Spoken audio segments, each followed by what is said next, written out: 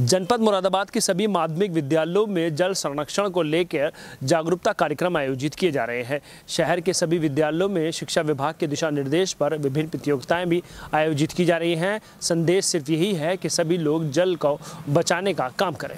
उत्तर प्रदेश सरकार के दिशा निर्देश पर जनपद मुरादाबाद के सभी माध्यमिक विद्यालयों में जल संरक्षण और मिशन शक्ति विशेष अभियान के अंतर्गत जागरूकता कार्यक्रम आयोजित किए जा रहे हैं।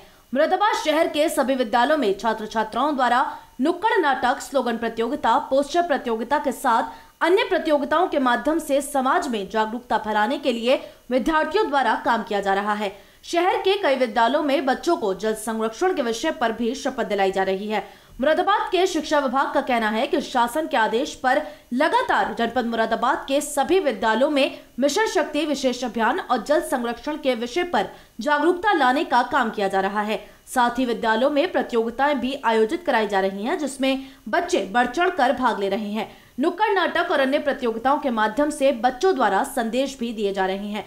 उद्देश्य है कि समाज में जागरूकता फैलाई जाए और जल को बचाने के साथ साथ नारी शक्ति पर भी सभी लोग काम करें।